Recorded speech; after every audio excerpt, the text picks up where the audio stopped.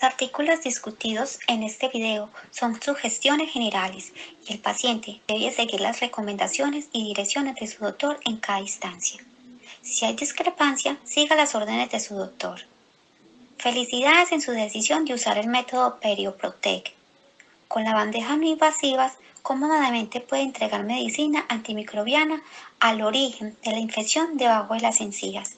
Este tratamiento es eficaz y sencillo a usar. Cuando empiece el tratamiento, recibirá las bandejas e instrumentos para limpiarlas en su casa que son fáciles de usar. Hay una bandeja arriba y una de abajo. Es fácil identificar la bandeja de arriba porque los dientes frontales son un poco más grandes que los de la bandeja de abajo. Si ha sido prescrito un medicamento líquido, puede usar la brocha para distribuir uniformemente el líquido en cada canal dental. Tanto las bandejas como las brochas deben de limpiarse después de usarlas y guardarlas para usar la próxima vez. La hoja de información y de instrucciones le dará las direcciones para llenar, limpiar y guardar las bandejas con recordatorios de qué tan frecuente debe usarlas y por cuánto tiempo. Vamos a mirar cómo llenar e insertar correctamente las bandejas Perioprotec, cómo colocar el medicamento en gel y una línea delgada a través del canal dental. Si su doctor prescribe un medicamento líquido, eche unas gotas pequeñas, solo en las áreas indicadas por su doctor. Un poquito de medicamento sirve para mucho, una línea delgada es suficiente. Usa las brochas para distribuir uniformemente, asegurando que cubra el canal dental. Tome la bandeja y póngala suavemente sobre sus dientes.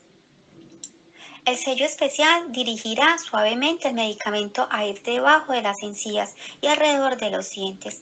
Mantendrá el medicamento en su lugar por suficiente tiempo al trabajar en contra de la bacteria que causa la infección en las encías.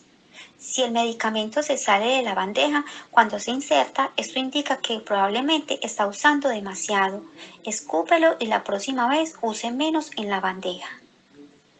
Siga el procedimiento exactamente lo mismo para la bandeja de abajo. Distribuya uniformemente el medicamento y ponga la bandeja sobre los dientes.